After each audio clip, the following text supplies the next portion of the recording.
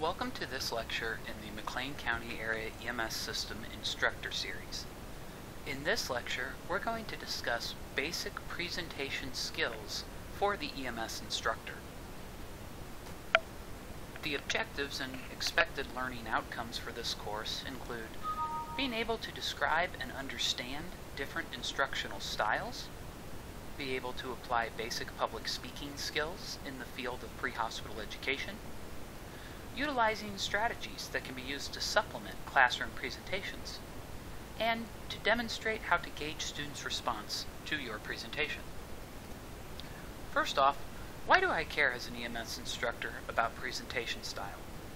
The art of teaching often lies in how effectively the teacher is able to present the material, not simply how much, uh, how much knowledge does the instructor have method of presentation will greatly impact upon how successfully the material is learned.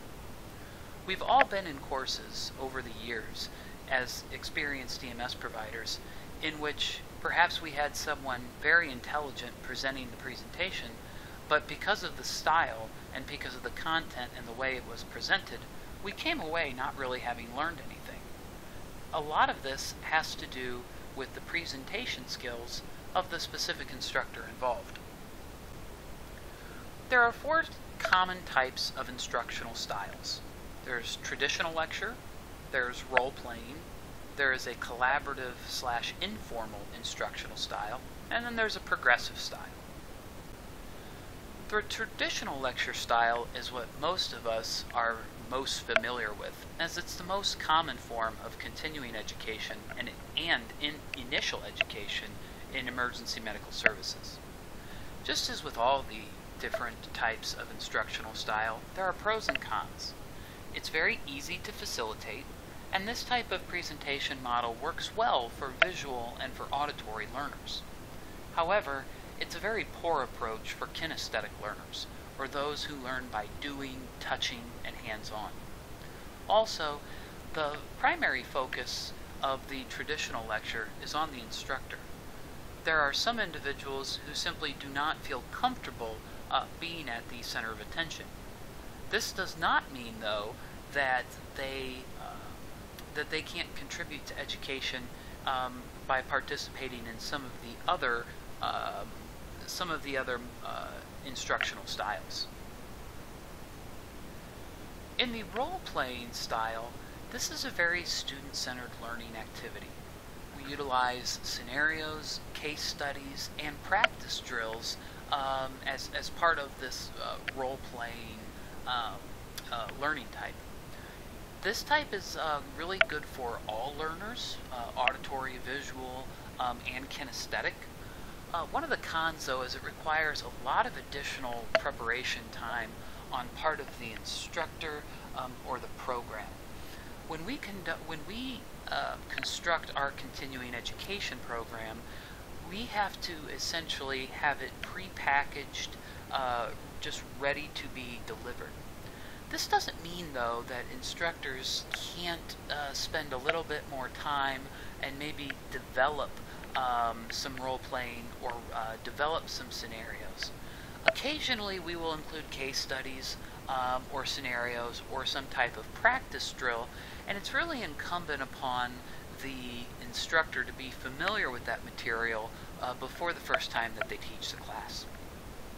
In most instances, it requires additional equipment, which can sometimes be a logistical challenge, especially if we have multiple courses which are ongoing, um, and it requires a, a fair amount of logistical consideration in shuttling equipment back and forth positive in the role playing, though, is that the students are actively involved in the learning process, whereas with the um, traditional lecture, the students take more of a passive approach.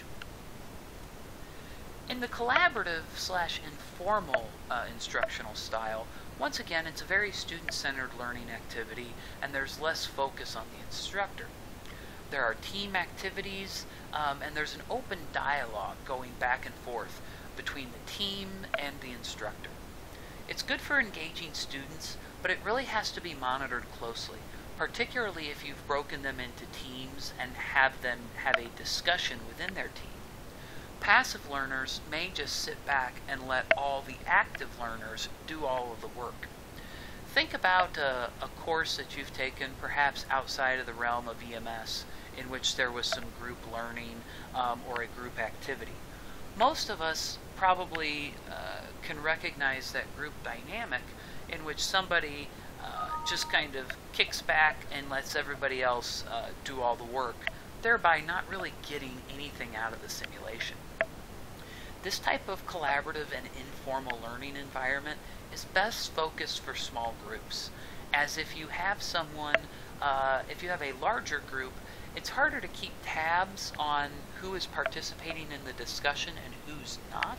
Um, and it also becomes a, a logistical issue of uh, perhaps uh, too much table talk or um, side conversations, uh, which can cause the uh, which can cause the room to become quite loud and inhibit the learning environment. The progressive learning uh, style uh, largely deals with distance education. In this type of education, learning takes place while the student is separated from the instructor. This course would be a good example of progressive or distance education.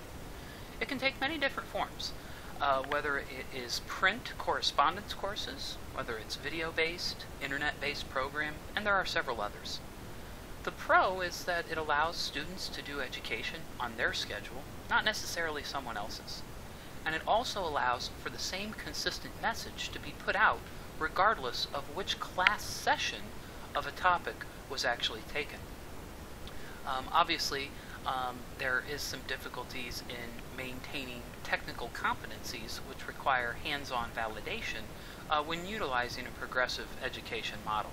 And as a result, in EMS, we're seeing more and more hybrid education, in which there's a mixture of both progressive and then taking a look um, at um, uh, role playing um, or simulation um, as a hybrid to go along with that progressive education. In terms of making the presentation itself, particularly uh, when we're dealing with a, uh, a traditional uh, lecture style, uh, instructional style, um, it's important to do a couple of things. There's the introduction, there's the outline of the course, if applicable, what any requirements are for successful completion, and then what are the expected outcomes. With the introduction, it can vary if, it, if this is a group that you've taught before versus a group that this is your first interaction with them. If this is a group that you've never interacted with, it's important to introduce yourself, uh, where do you work? What are your credentials? Essentially, what street experience do you have? Why should people listen to you? Also, if you have any additional training in a particular subject area, such as if you've completed a, a farm medic program and you're doing a training for uh, farm emergencies, that would be something pertinent that would be Im important to share. However, and I cannot emphasize this enough, this needs to be done in a professional manner and not in a pompous look at me manner.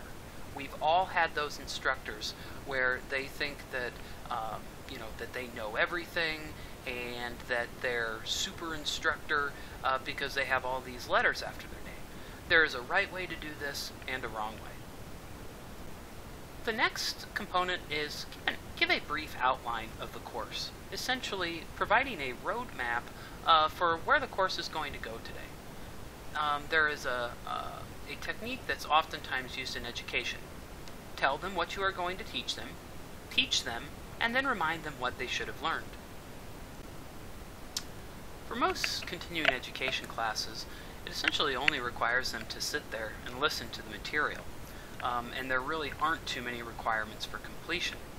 However, encourage them to be active. It's also important to remember and understand that instructors, even of CE classes, have the authority and the backing of the office to remove and deny credit to those that are disruptive to the course. If you have to do this, please contact the office as soon as possible.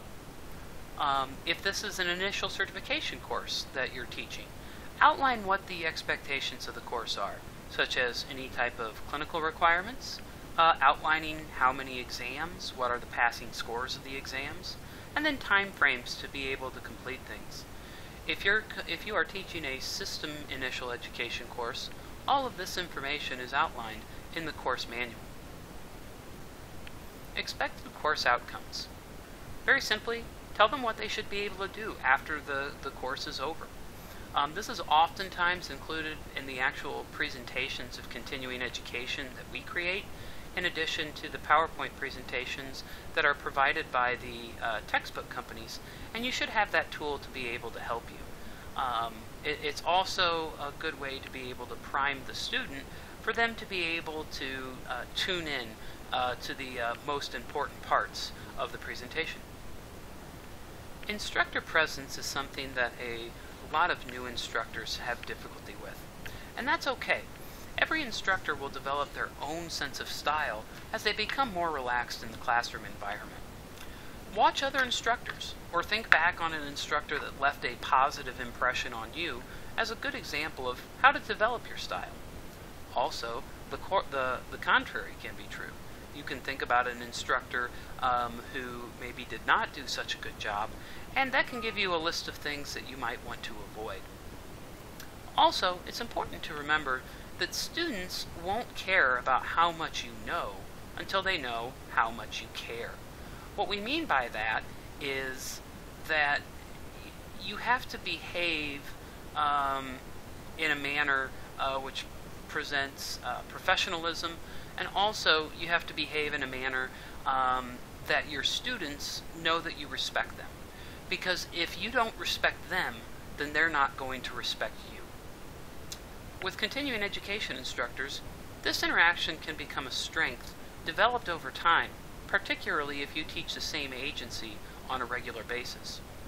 Just because you have a higher licensure level than someone does not entitle you um, to talk down to or to treat them in a disrespectful manner. As an instructor, it's important to arrive early. Uh, by arriving early, you'll appear organized um, and ready to uh, conduct uh, the course. Also, you'll avoid agency administrators and students becoming nervous or agitated as to whether or not the instructor is going to show up. This has been something that historically our system has had an occasional problem with, particularly with continuing education, with instructors not, uh, not showing up uh, to the classes in which they agreed to teach.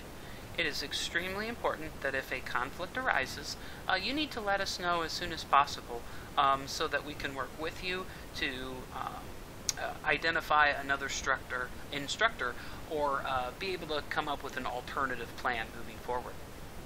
Also, make sure to check the audiovisual equipment. Do you have everything that you need in order to facilitate the presentation? Do you need speakers? Do the videos play? And etc.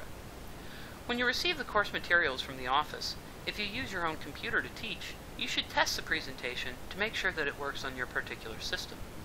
Obviously, if you're going to be using a computer provided by the agency, we won't necessarily have that ability um, to be able to test those items.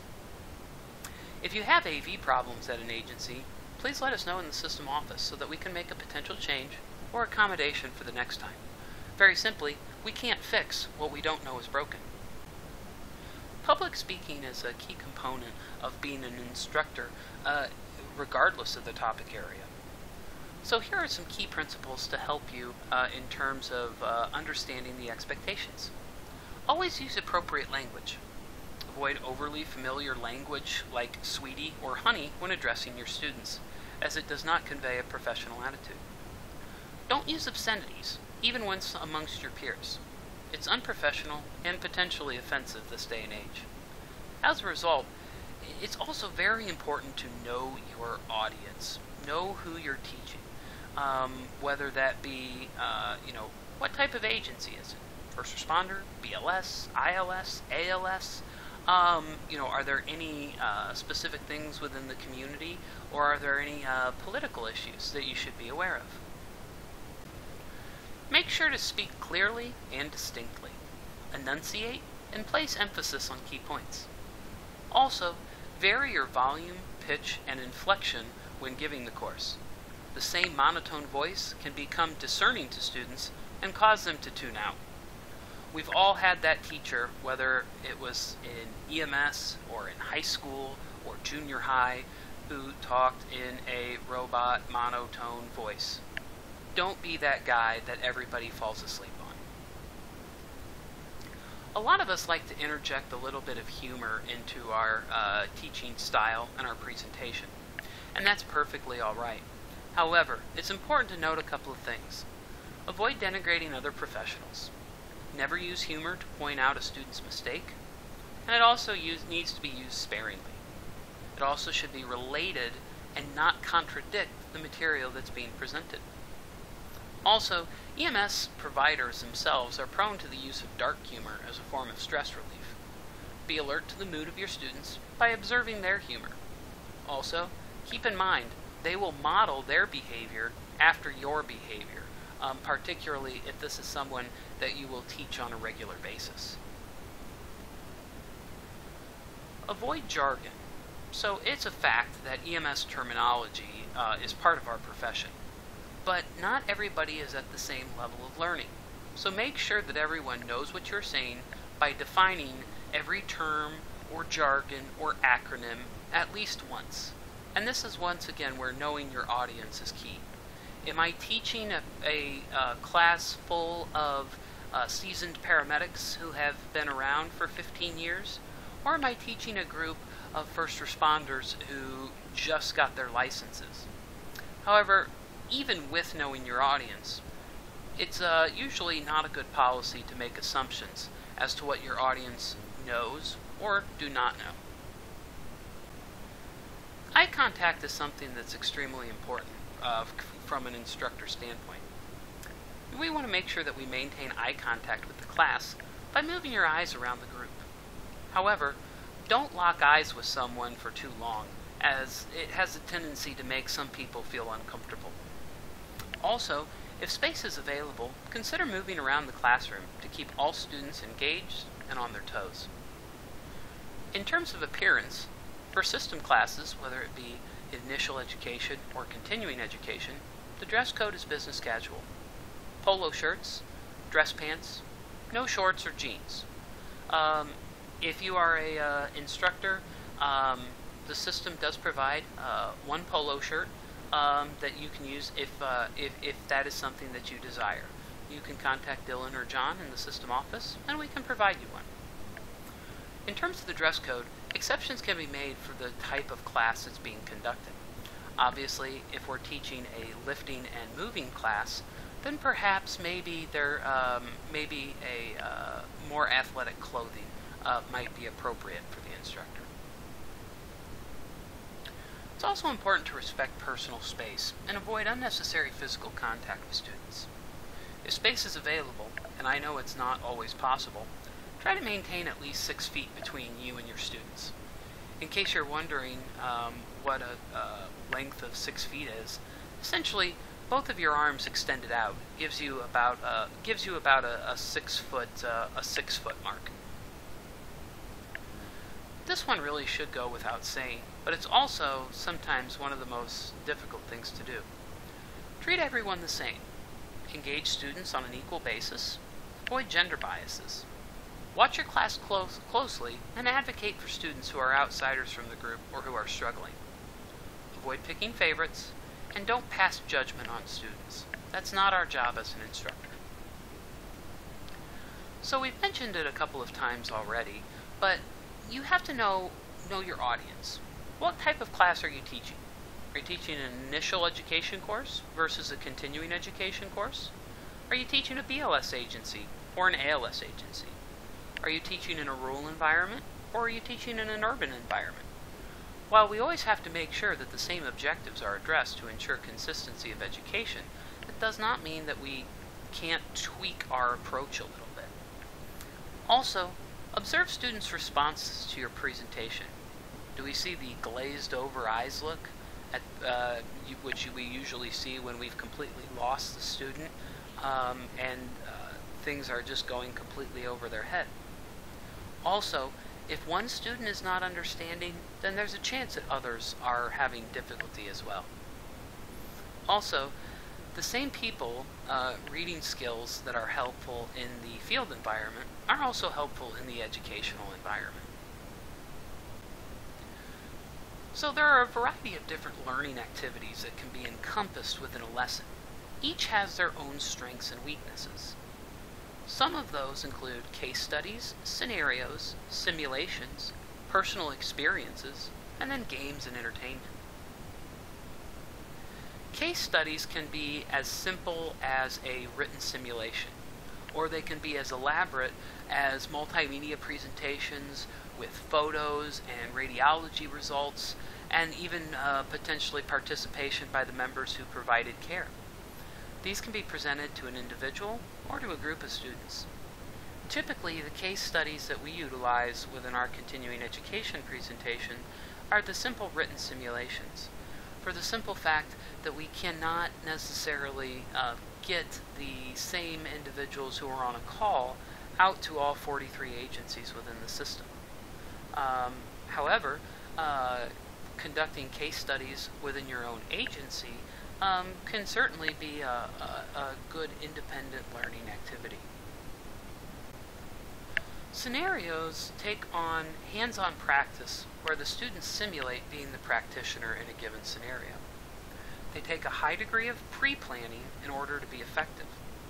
It's also important to discuss with the students what the ground rules are and your expectations prior to beginning the scenario. Scenarios can also be written down or can be done as small, as small group discussions. Simulations are probably some of the most valuable, but also the most complex to be able to uh, set up and prepare. So in simulations, we use moulage, victims, and equipment to completely role-play a scenario from start to finish.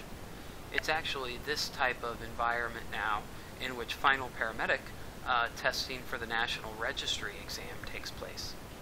Simulations can be observed by students, or the student can participate, and usually it's a mixture of the two. Personal experience or war stories can help students develop concrete cognitive images of subject matter and really help them be able to apply the concepts that they just learned. It's important to understand, though, that war stories should not overtake the entire lecture. It's something that should enhance it, not distract from it. Also, when utilizing this modality, don't let the conversation go into non-purposeful discussion with students trying to one-up one another or trying to one-up the instructor. But personal experience can help sow the seeds for great discussion opportunities and can be a means to work on critical thinking skills. Games and entertainment are another uh, potential lesson component. Most adults enjoy playing games, but those games should have some relevance to the course. What we've done in a lot of our presentations is that we've created some form of uh, a game show, such as Jeopardy, as a way to be able to test and quiz uh, in a game environment to be able to see really how effective we were as an instructor uh, in teaching the material. These types of uh, these types of modalities can help break the normal routine. Um, however, it is important to note that this strategy won't necessarily be advantageous for everyone. We hope that you've enjoyed this course. Um, it helps provide uh, a basic framework as to uh, how a class should go and, and how we should present a, how we should present a class in a presentation uh, given um, uh, specific criteria. Now this this presentation only addresses some very key points um, and there is a lot more to learn uh, than this. And as a result, we encourage you to continue to follow our instructor series and to be able to um, you know, pick up on additional uh, points uh, to help make yourself a better EMS instructor. Ultimately, what we hope is that you have uh, become a little bit more comfortable and have a little bit better of an understanding of what the expectations, roles, and responsibilities of an EMS instructor are. It's also important to continue to learn and seek out those other resources. Also, uh, if you're still a practicing field provider, make note of any interesting calls and patient encounters that you have. That will be a wealth of information that you may be able to pull from to be able to help your students uh, understand concepts. So we thank you for watching. Uh, hope that you've enjoyed it, and we'll see you next time.